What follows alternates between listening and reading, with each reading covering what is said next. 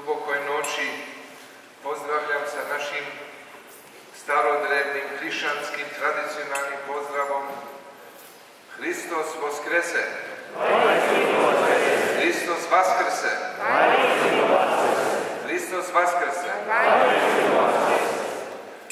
Ova vest o Vaskrsenju Hristovom to je za te koji nas ovdje u ovom novom hramu koje smo u ovoj predstavnici u Austriji dobili na poklon. I moja duša je puna sreće i radosti što ste vi, braći i sestre, došli u ovako velikom broju, ne samo u ovaj Sveti Boži hram da ga ispunimo prema očekivanju onih koji su nam poklonili taj hram, nego da svi vi postajete ovdje u veću vesnici Hristovoga vaskrsenja, je samim tim što ste vi došli u ovako velikom broju u ovu prestolnicu, vi predstavljate jednu veliku nadu za ovaj grad koji će ići svojim putem i koji će imati svoj program. Ali jedno je veoma potrebno ovom gradu, a to je vera u vaskrsenje Hristovo i vera u, koneč, u konačnu dobit dobroga koje činimo u našem životu.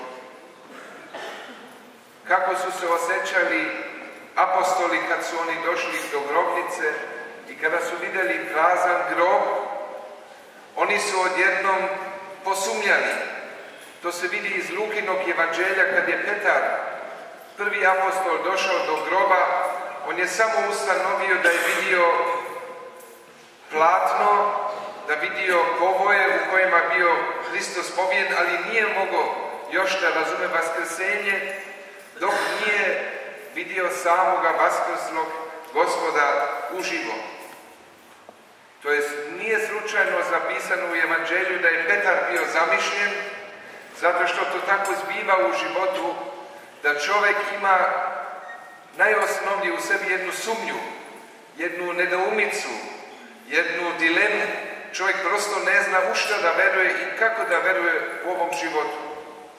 I to su znali evanđelisti i zato su naročito apostol Luka i Jovan opisivali to stanje apostola Petra kad je bio pred praznom grobnicom. Rimskim vojnicima nije cijela ova scena bila popuno jasna i zato je Pontije Pilat na predlog jevreja naredio da treba jedna straža da ide do grobnice, da čuvaju grobnicu zbog toga, zato što su jevreji nagovarali Pilatu da to tako čini, rekavši da će apostoli da idu da ukrade telo Hristovo.